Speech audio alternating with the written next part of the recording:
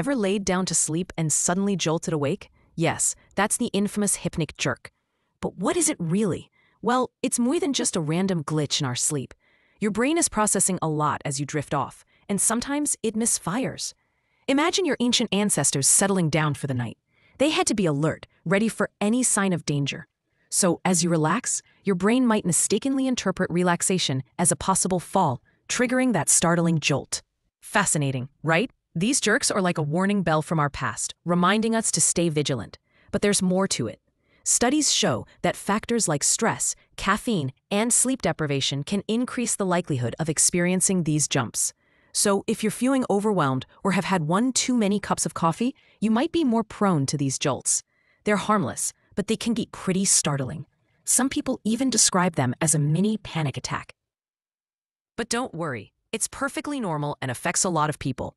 Next time you experience a hypnic jerk, just remember it's your brain's way of keeping you safe.